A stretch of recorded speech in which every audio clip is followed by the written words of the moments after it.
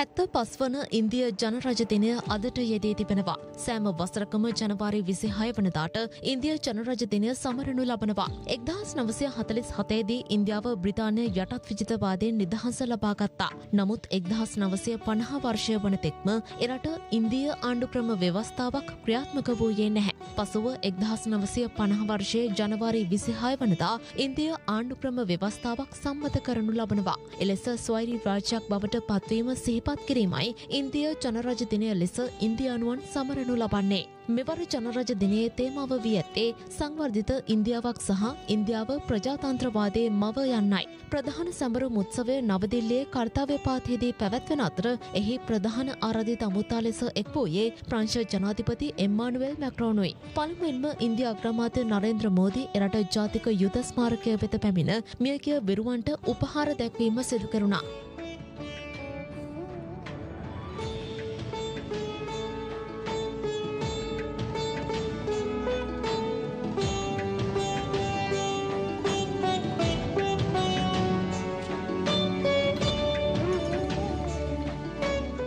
පසුව අග්‍රාමාත්‍යවරයා ඇතුළු සම්භාවනීය අමුත්තන් පෙළපාලිය පැවැත්වන ස්ථානයට ගමන් කළ අතර ඉන්දිය ජනාධිපතිනි ද්‍රෞපදී මුර්මු සහ ප්‍රංශ ජනාධිපති එම්මානුවල් මැක්‍රෝන්ද එම ස්ථානයට පැමිණියා. අනතුරුව එරට ජාතික දජය එසවීමෙන් පසු ඉන්දිය ජනරජදින උත්සවය ආරම්භ වුණා.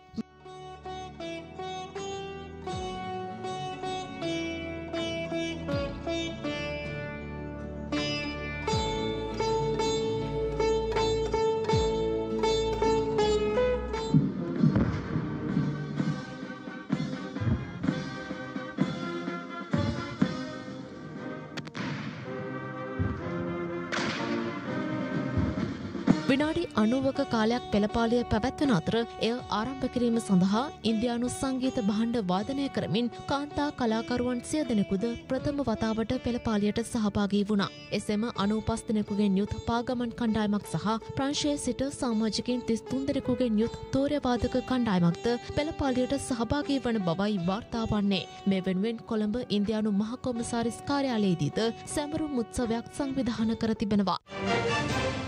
රටේ ලෝකෙ සිදුවන උණුසුම් පුව දැනගන්න සියත නිවස් YouTube චැනල් එක අදම සබස්ක්‍රයිබ් කරන්න.